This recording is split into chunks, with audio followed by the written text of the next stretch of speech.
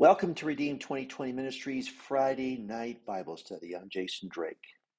Thanks for joining us. This is a great place to be if you want to learn more about the Bible and how it applies to your life. We're going to go ahead and continue in Matthew chapter 7. It's a long one, but there's a lot of teachings of Jesus. We want to try and understand them through our study. We're going to talk tonight about how to recognize false teachers or false prophets. Get a piece of paper and a pen so you can take notes, and let's get into it. Hope you brought your Bible and turn with me to Matthew 7. Once again, we're going to finish Matthew 7 this time. We're going to be looking at the last few sections. If you remember, Matthew 7 is the end of what Jesus is known as the Sermon on the Mount or Sometimes the Beatitudes are a number of different titles that are used, but the important thing is hmm. these are a collection of little messages that he delivered. And we'll find tonight Jesus was talking to in each of these short messages. He seemed to be talking to not just those who are listening, but certain groups, certain targeted groups of people that were following him or listening to him and he he knew they were tracking with him. So we we sometimes feel like, well, I don't know. It's kind of like you step into a movie theater and, then, and you and you realize the movie's already gotten started. So that's the way some of these passages feel like. But Jose is with us. Good to see you tonight, man. Um, so what happens now is we're going to pick up the end of this section of verses because Jesus covers some uh, again some important topics. So get in your in your Bible and turn to Matthew chapter 7 and we're going to start with verse 15. Before we start reading at verse 15 and we'll go through the end of the chapter verse 28 29, excuse me, the end of the chapter.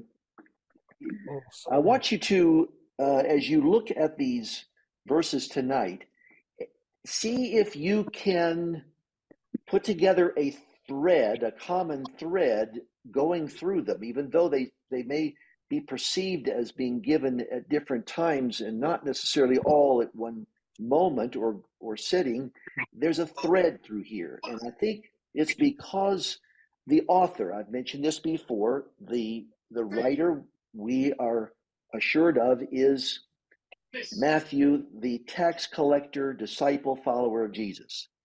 And Matthew was very interested in how the Jewish people would receive and understand these teachings of Jesus.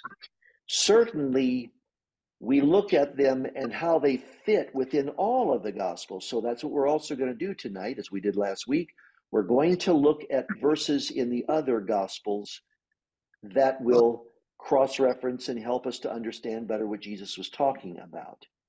And so it's important for us when we do Bible study to do that with your note taking or whether you're you're looking up things to research and understand. Now, I also want to to point out to you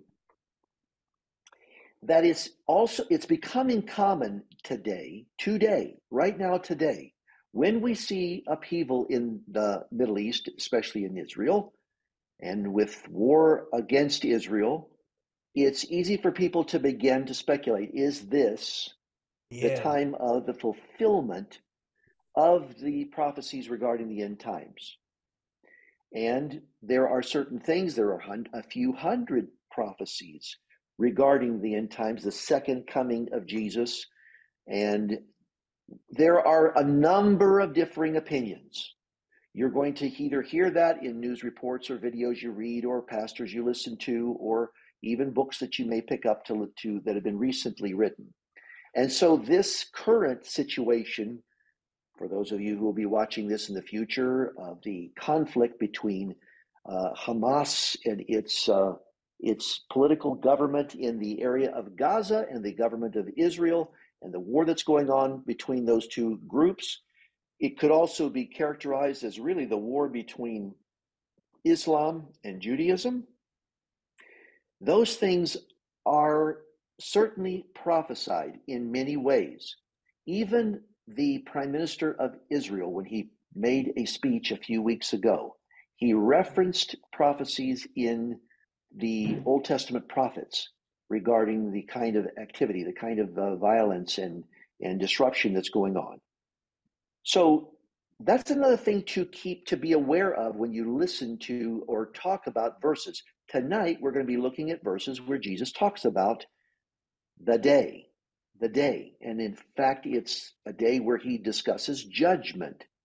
And so throughout the Bible, Old Testament and New, the day of judgment is often used to indicate a time, part of a timeline. If you were to put the beginning of all time at one end and Jesus coming again and establishing his reign at the other end, all throughout this, there are these references to the day of judgment.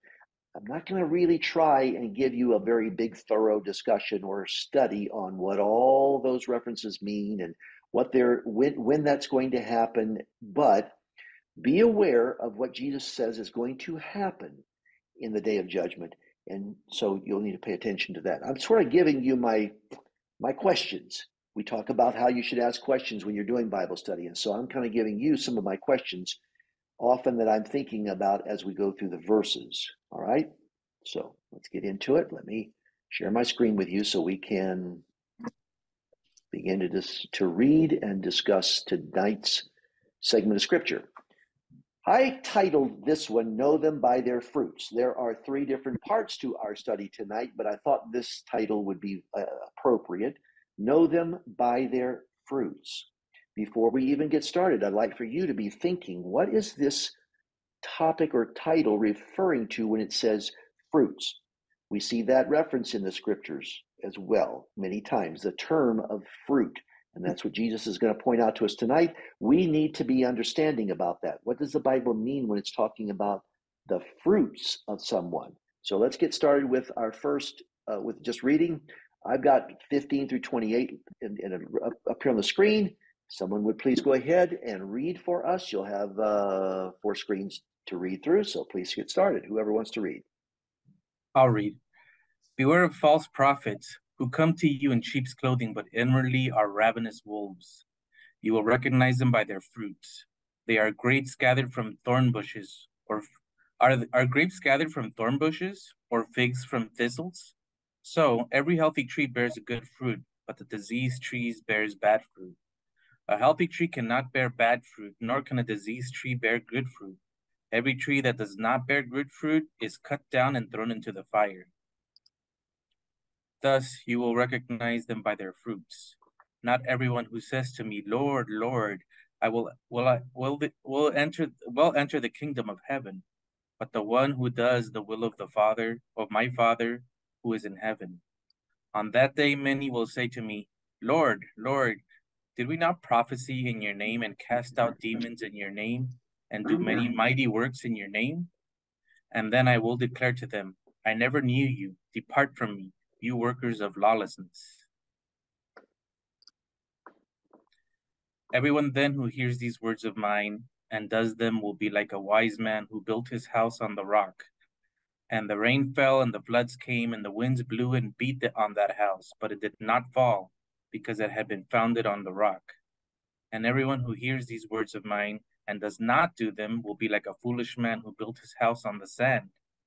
And the rain fell, and the floods came, and the wind blew and beat against that house. And it fell, and great was the fall of it. And when Jesus finished these sayings, the crowds were astonished at his teaching, for he was teaching them as one who had authority and not as their scribes. Mm, okay. So tonight we're going to talk about these verses, and I've got three main parts to in this outline. The first is know them by their fruits. So that section that Jesus described, and I want us to discuss. So think for a second how you might describe what that means, knowing someone by their fruits. The next we're going to talk about is how will Jesus judge, because that's a part of what he described uh, judging on the, the last day or on that day. And then the third is foundation for your life. And so that mm-hmm. those three sections are going to be part of our discussion tonight. Okay, let's go back and go back to the beginning of our segment here. And you can see that Jesus starts off with a warning. Uh, the word beware, and beware, he's trying to warn the listeners, his followers, believers, those of us who he knows will be reading the scriptures later. Beware of false prophets. Now, let's stop for a moment. I want to ask anybody who'd like to just, you know, put on your microphone and share with us what you think. Why was Jesus warning them about false prophets? And before you answer, let me fill in the blank a little bit. There were a number of people, it seems, during the time of Jesus who were thought of as prophets. And so that kind of, that term seems like it was kind of a common perception that there are prophets that go around. But somebody please try and explain to us why do you think Jesus was warning them about false prophets?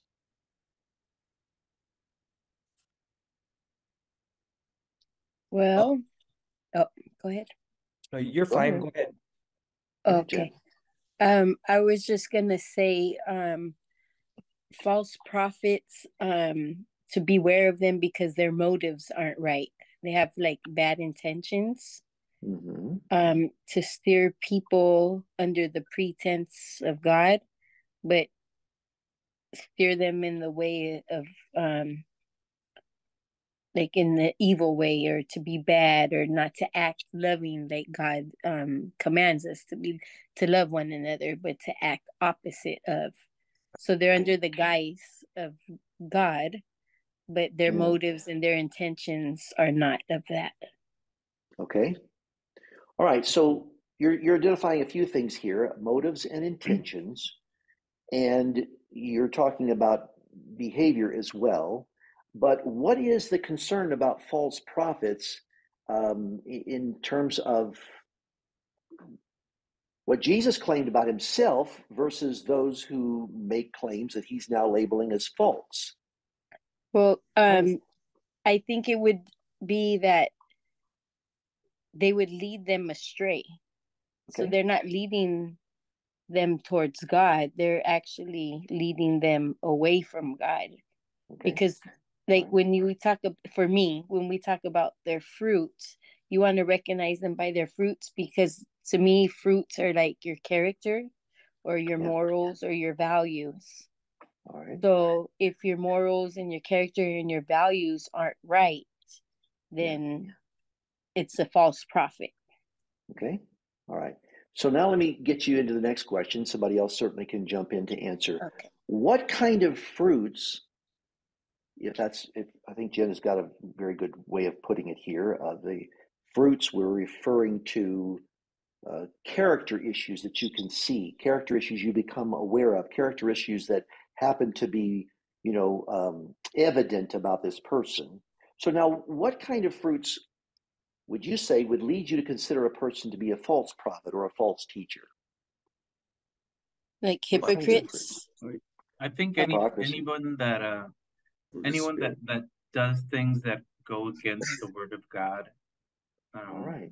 That's you know that's all that's all we really have. Eh, When it comes to me, when I want to know something, you know, this world is so full of uh, lies and deceptions, and so really the Bible is the only um, cornerstone I really have.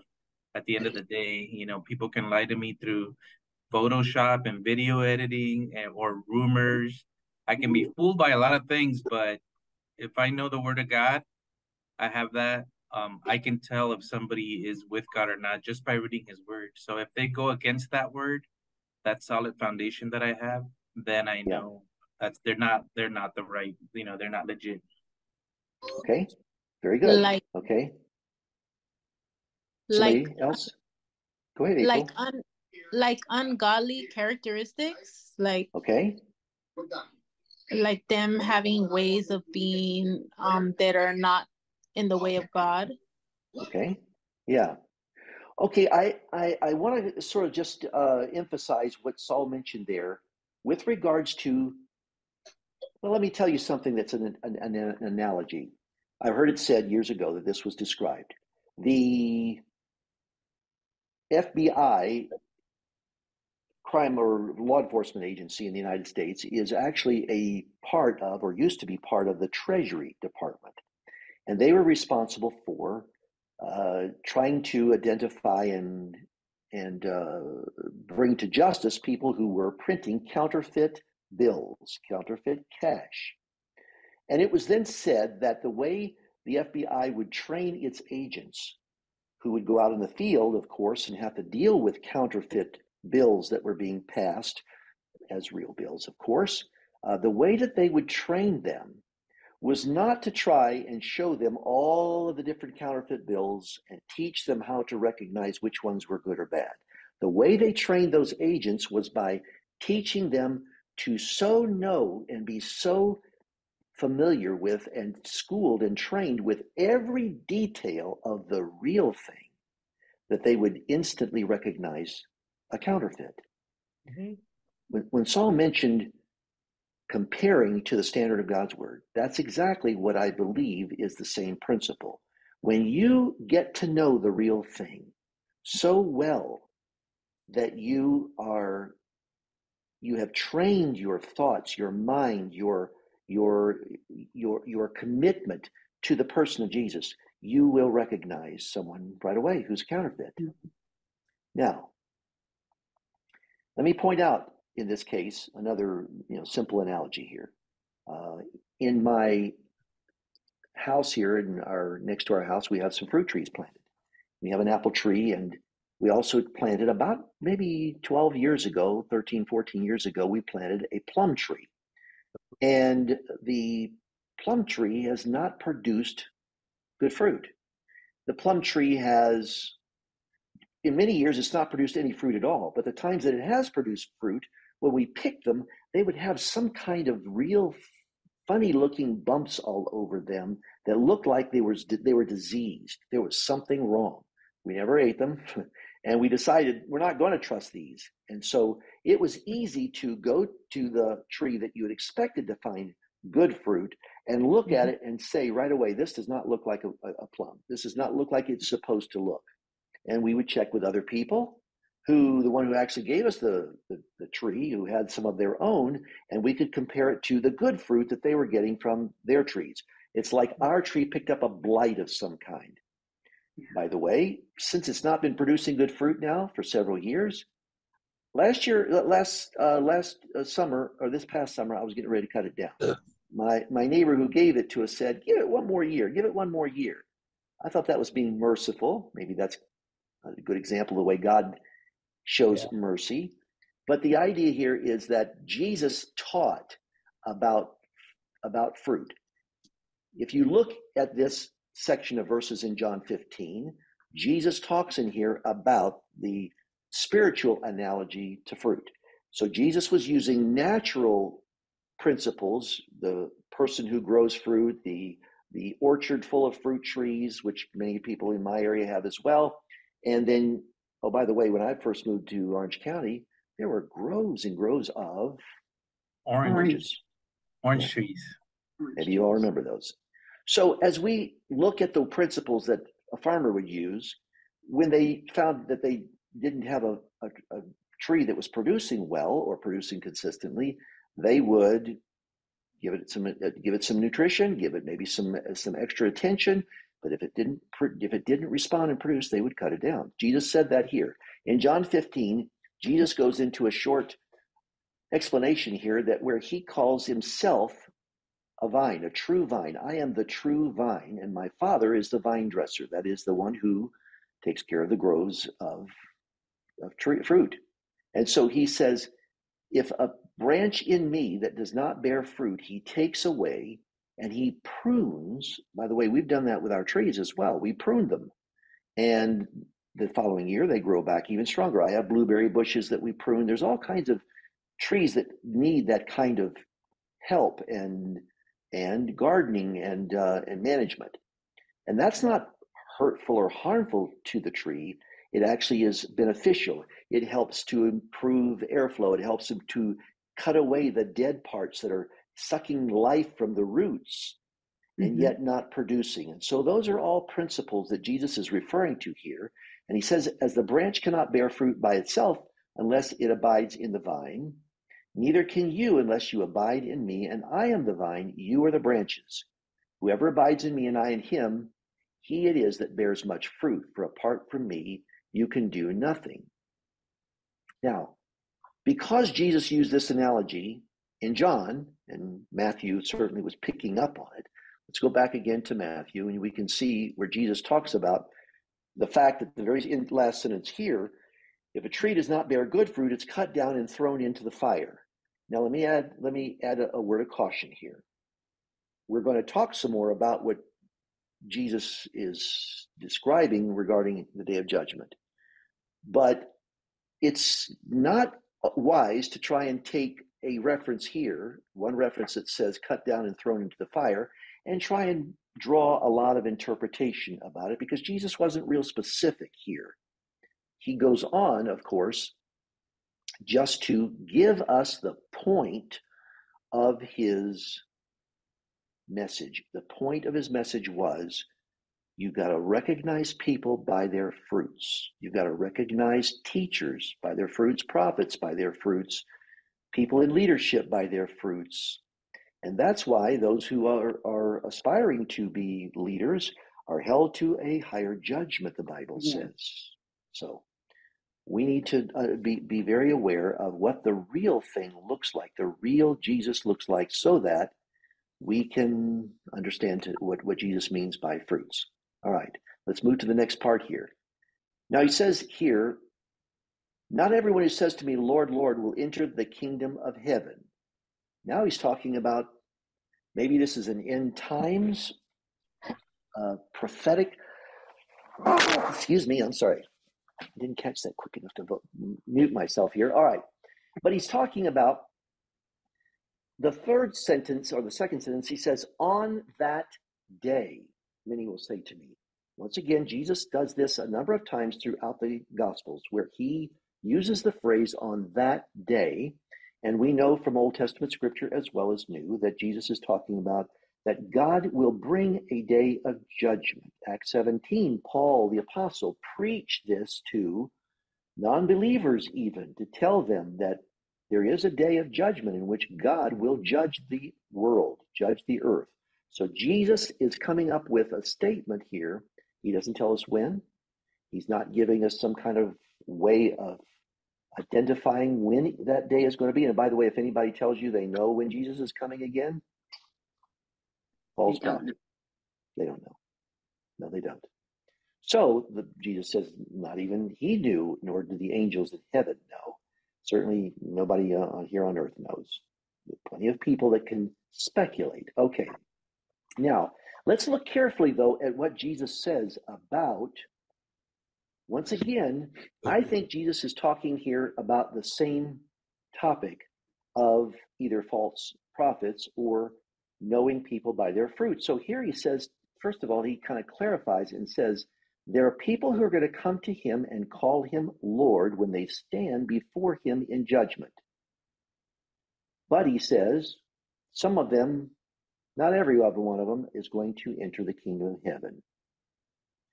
But he says, mm-hmm. the one who will enter the kingdom of heaven is the one who does the will of my Father. We're going to kind of jump to that when we get to the end of our time tonight and expand a little bit on what that means. But on that day, that is the day when they stand before him, they will say to me, Lord, Lord, and then they describe these three things that they did. They prophesied in his name, they cast out demons in his name, and they did mighty works in his name. And Jesus is not impressed He says, I never knew you. Depart from me, you workers of lawlessness. Now, the phrase, since we've been talking week, very, very uh, frequently, week after week in the book of Matthew, the phrase, depart from me, you workers of, of, of lawlessness, comes from Jesus quoting the psalmist in Psalm 6, verse 8, in which that phrase was also used. But let's just take a, a minute here and talk about what Jesus was trying to say here and why would Jesus be acting or judging or in fact depart from me means that means you're not going to be in the kingdom of heaven. They're not going to enter the kingdom of heaven. Why is he pointing out these particular actions that were done by these people regarding whether or not they're going to be entering into heaven? Someone share with me what your thoughts are regarding this statement of Jesus.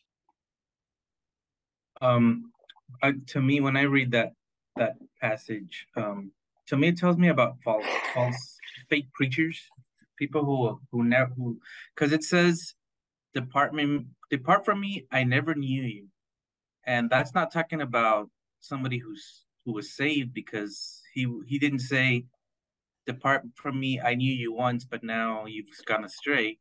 It says, "I never knew you," so that means they were never true believers. They were they were just they're faking Yeah. stuff and for whatever motive they had. Um Yeah. so to me that says that it's not it's not that hey you messed up and now you you're not gonna get to enter the kingdom. It's you were never taking this seriously and Yeah. you were you were to the people you could fool them, but you can't fool God. And so e- even though they think they might get you know through because hey I did a lot of good stuff um, and maybe they did. Maybe some of the stuff they did was positive, but if you don't have that true repentant heart and and the and the Holy Spirit will God can't save you. You know, He can't do that work if you're if you're being fake. Okay. Yeah. All right. Any other thoughts, real briefly? Anybody else? Another thing, like when he says, by your fruit, we'll recognize, we'll know by your fruit. There is the fruit of the spirit, love, joy, peace. Yeah. All the fruit of the spirit. And Yeah. many say, oh yeah, um, I, I love God, I'm a servant of God. But yeah, they don't live a godly life, a, a, a- life with love, which, you know, they don't have no joy in there. So, you know, you, you see that a man of Yeah. God or a woman of God will recognize it because they live it every day. So when they, when the others speak and they say, "Oh yeah, I love God," that, how you recognize by their spirit? How do they live? How do they react towards anything? Yeah. You know, a lot of times when they say, "Oh yeah, um, I do this for God, I do that," but with no anointing, you know, the anointing comes through because uh, your relationship with God, it, it, it flows through you. But you, you have to live pure. One thing is pure before the Lord. And also, Yeah. like many false prophets, they do things saying, oh, the people don't see me, whatever. But God sees it all. You got to use integrity, you know? And another thing is that when when we go to judgment, we're going to say, oh, yeah, Lord, Lord, you know, I love you, Lord. I, but he knows that you weren't serving him like you were supposed to. So he, that's what it says, I know them by their fruit, right? Yeah. And they're not going to enter the kingdom of God. Why? Because he's going to tell them, I never knew you. You, you didn't have a relationship with me. You know what I mean? So that's another thing is that you got to be careful with that too. And many study the word, no matter what they read the word, but yet they don't have a relationship with God. When they do, they pray to God and God answers. You got to remember one thing God answers at his timing, it's not our timing. So that's living a godly life. And another Mhm. thing, when you said about the pruning, you know, without me, you are nothing. That's one other thing. When you get, when you're, God's pruning you, it's painful. Spiritually, you go through a lot of pain. Yeah. And then, Yeah. like when you go through the fire, that's because He's refining you, removing Yeah. all the uncleanness, all the lifestyle, the past lifestyle. He wants you to live godly, pure. Yeah. Amen. I got a lot to share, but next time.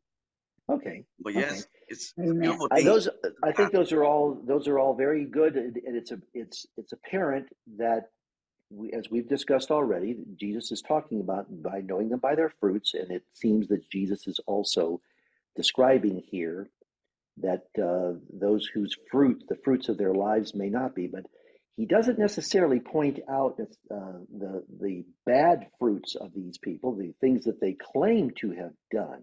Let me suggest one more thought, and this is not this is not I'm not I'm not the uh, the head theologian here in this local seminary, so just take uh, these thoughts as a as an idea that might be possible because we we see and I'm going to show you another place in Scripture where Jesus talks about this same thing. But look and, and see if you will.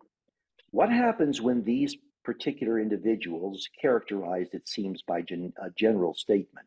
They come to him as if they, Jesus is pointing out, whether or not they will enter the kingdom of heaven. So here they come and stand before Jesus as if they're trying to convince Jesus that they should enter the kingdom of heaven. And what reason are they giving for whether or not they should enter the kingdom of heaven? Now think for a moment. When I stand before Jesus, when you stand before Jesus, what am I going to say regarding whether or not he should be allowing me to enter the kingdom of heaven? I'm going to be on my knees. I'm going to be saying, Lord, I know that I was not worthy. I know that my life and my actions were not good enough, but you were. I am, I am asking by faith, my faith in what you did, that that will give me your grant me your mercy and favor and grace to enter the kingdom of heaven. Look what these particular individuals were using as the reason why they should be allowed in. What I did, what I did, what I did. I should be able to boast because look, I'm better than they, they others that were did not mm. do these things. It's my good deeds, Lord. Don't you see? Didn't you see? Didn't you watch what I was doing all that time? Even if I did it for the sake of religion? And Jesus is going to say, you know what? You're still just a worker of lawlessness. You're just a sinner. And your sin is what you're now claiming or your behavior, your actions, your works is what you're claiming is the reason why you should be uh, given entrance into the kingdom of heaven. Now, that's one of my thoughts regarding why Jesus would say something about people like this. Let's look real quickly at, I'm sorry, this verse in Matthew 25, I'm just going to summarize it for you. When the Son of Man comes in his glory, and all the angels with him, and he will sit on his glorious throne. This is at the end of Matthew in chapter 25. Before him will be gathered all the nations, and he will separate people, one from another, as shepherd separates the sheep from the goats. And he will place the sheep on his right, but the goats on the left. Boy, those poor goat farmers that he was talking to must have been thinking, but Jesus, is that what you're saying? We're all goats are bad. Then he will say to those on his left, Depart from me. I've skipped a few verses here. You cursed into the eternal fire prepared for the devil and his angels. For I was hungry and you gave me no food. I was thirsty, and you gave me no drink. I was a stranger, you did not welcome me. Naked and you did not clothe me. Sick and in prison, you did not visit me. Then they will answer, Lord, when did you we see you as hungry, thirsty, or stranger, or naked, or sick and in prison and did not minister to you? And he said, as you did not do it to one of the least of these, you did not do it to me. And what Jesus is describing here, again, is another statement about the judgment day. The righteous will go into eternal life. Those who are not righteous will go into eternal punishment. Paul clearly, the Apostle Paul clearly says, the only righteousness we have, if you want to read through Romans 3 and Romans 4, the only righteousness we have is the righteousness that God transfers to us based on the death and, and, and resurrection of Jesus. That's the only righteousness we have. So I just offer these particular verses to you about this issue of the judgment day. And keep in mind who Jesus was talking to, and keep in mind what we see in the whole of Scripture regarding righteousness before God, and why our names, the Bible says in Revelation, our names will be those recorded in the book of life. Now, let me also go now. Let's go back to the, our verses because I want to get covered quickly the third part here. Let me see. All right, here we go. In Matthew 7, the end, okay, everyone then who hears these words of mine, we're back in Matthew 7, and does them will be like the wise man who built his house on the rock. You've probably heard these verses, and we've, just, we've discussed them at other times in the past. Uh, and the rain fell, and the floods came, and the winds blew and beat on that house. But it did not fall because it had not been founded on the rock. That's the key phrase here I want you to pay attention to. Now, everyone who hears these words of mine and does not do them will be like a foolish man who built his house on the sand, and the rain fell, the floods came, and the winds blew and beat against that house, and it fell, and great was the fall of it. So, Jesus here is talking about something we've discussed in the past is the foundation for your life. What is your life being based upon? What are you building your life upon? Are you building your life, your efforts, your choices, your relationships, your purpose, your goals, the way you measure and how am I doing? Are those things all based on what? You and your ability to get ahead, your ability to get a better job, make better money, uh, do the things that you want to do to try and maybe uh, even accomplish things. Jesus is saying, if you build your house on yourself and what you think is the best thing to do, you're building your house on sand. And just like this story, this analogy, this sort of parable he's describing here, when the storms come, not if they come, we've talked about that many times. When the storms come in your life, and they will come hard. Look at what one of the things that that really uh, caught my attention is that it says the winds blew and beat on that house. There's other translations that say that it hits that house hard. You and I will. We are promised that we're going to go through tough times that will beat on you, that will beat on the foundation that you have laid. And like Saul mentioned when we first started, if you're if you're going back to the scripture to compare, to compare the people that you listen to, to compare even Christian teachers, Bible teachers, pastor in front of the church, if you're not comparing, if you're not doing like Acts 17 says of the church believers there who went back to the scriptures to see whether or not what they were being taught was based on the Bible, then you're not building your life and your house on the on the, the foundation that's going to not only stand up against the storms, but that's what Jesus is saying he's going to be looking at in the last day. Look at this one here in James. The, the book of James was written by James, Jesus' brother, who believed and became a leader in the church. It says, But be doers of the word, and not hearers only, deceiving yourselves. That is, if you're only a hearer, you're deceiving yourself. And he further describes what he means. For if anyone's a hearer of the word and not a doer, he's like a person who looks intently at their natural face in a mirror, for he looks at himself and goes away and at once forgets what he was like. But the one who looks into the perfect law, the law of liberty, and perseveres, that means you keep with it, you stick with it, you commit yourself to it, being no hearer who forgets, but a doer who acts, he will be blessed. God will show his grace, his favor to one person, a person who does, does this. Don't just be someone who reads the, the word and walks away and ignores it, but it, it needs to be like a mirror showing you who you are in comparison to what God says is right. It's like the agent looking at a counterfeit bill. You need to be looking at the real thing, Jesus himself. And that's what you should be comparing yourself to. And so, in the verses we started off with, one of the things that uh, I made note of was that Jesus said, But the one who does the will of my Father who is in heaven. Now, I'm going to finish with one verse. If there's any question about what God's will is, let me show you. 1 John 3, the Apostle John writes, This is his commandment. Okay? You're unclear. Those who are listening, and maybe you're listening to this later on. This is his commandment, God's commandment, that we believe in the name of his Son, Christ, Jesus Christ, and love one another just as he commanded us. This is what God's commanded. This is the fruit that should be showing in our lives.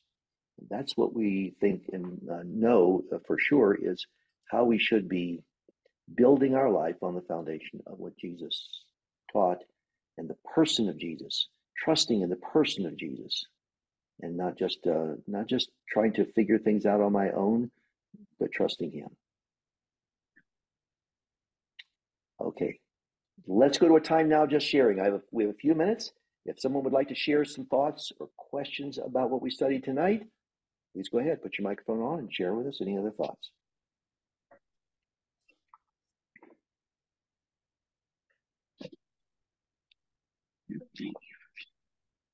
Well, I think um, it's it's very uh, reassuring that God is not counting on my actions to let me into heaven because if that's really you know as the Jehovah's Witnesses teach that you have to do a certain amount of actions or you can't get into heaven or you can't I mean whatever they believe um then it would be very difficult you know and and when you see them knocking on doors every Saturday and walking around, it's because they believe it's their de- salvation depends on them. So it's understandable that they're very insistent on it. But the truth is that, you know, the, the Bible says we're not good enough. And only through being cleansed through the blood of Jesus can we reach heaven. The, and the and the real question is, you know, what rewards will you get in heaven? Because I, I believe the Bible says that you will get rewards in heaven, and you may enter heaven and not get any rewards because you didn't do much. Um, but um, you'll still be in heaven. But you know, I'd I'd rather face God and and be able to at least show my my faith after He saved me. You know, show my gratitude and what I at least tried to do. But that definitely will not get me into heaven. It'll it'll I'll already be there through my faith and um, I just think it's really reassuring because it's it tells in these verses it's kind of telling us it doesn't matter how good you are, you're not gonna get into heaven that way. Well, that tells me that it doesn't. The reverse might also apply. It doesn't matter how many times you mess up, God's gonna have mercy on you because you know it's the blood of God, the power of the blood of God that gets you through it, and not your ability. Yes. Yes. Okay, good. Thank you. Anybody else want to any comments? Any thoughts? So what comes to my mind right now, Jason, is that one, and I can't remember the scripture when um two guys go to the altar and one guy's talking about all the good stuff he did, but the, the guy next to him has his head bowed and he says, Forgive me, Lord, I'm a sinner. That's one that gets to me right now in regards to what we're, uh, you're teaching right now. And when I think about things, I mean, I think that's true because this, I mean, the word of God was was kind of changing and molding all of us. And just like you said earlier, we know the truth by the word. And like if I'm receiving the word, exposing myself to the word, but revealing other traits about me, then that kind of shows that the word's really not having its impact on me. And a lot of times I see that out there too, where I see people proclaiming to be Christians and so forth, but then as you're looking at them, they're not really doing Christian like things. And I only say this because for myself, I always got to be careful with myself. You know what I mean? Because um, it's been a quite a journey for me. You know what I mean? And I know that through God's word, through learning God's word, that's what's always convicting me when I, I make a wrong turn and stuff. And I mean, and that's why I'm even here right now to this Bible study, so I could put myself like in the fire to stay straight, keep my eyes on Jesus and so forth. And when that time comes for me, I'm gonna probably be like that guy that's that's looking down and just hoping for God's mercy. You know what I mean? Because there's nothing I could possibly do to turn my salvation because according to the word of God, the way I'm learning it, Jesus did it all for us. But I, that's not for me to take for granted. You know I mean, but I still go through those motions, you know what I mean? And God's word still convicts me. And you know, it's I think it's a good thing, you know, because uh, you know, God reveals to me his mercy all the time because I'm still here. He gave me another day. Amen. Good. All right. Well, good. Thank you. Um, so this is a this is a, the end of our study in chapter 7 of Matthew, and we'll continue on through the stories of the Gospels. I'm glad we just took it verse by verse because there's so many of these things that I wanted us to discuss and understand when you're reading through the scriptures after you've studied a portion of scripture now it becomes more clear and you begin to understand as, as you see these things that jesus is teaching and talking about being uh, being things that he brings up in various ways. So this is a way of building our faith, your faith. And as Anthony said too, and as we read in James, when you listen to God's word and God's Spirit begins to speak to you about something in your life that you know is not right, then you need to, on your knees, get get get it right before God over all the issues that He brings up. Did you miss our Bible study last week? Or would you like to listen to other previously recorded studies with topics that will encourage you in your faith and help you to understand the Scriptures even more? Go to our website, redeemed2020ministries.org. Click on Bible Study in the menu at the top of the screen, and there you'll find our section where we have listed previously recorded studies.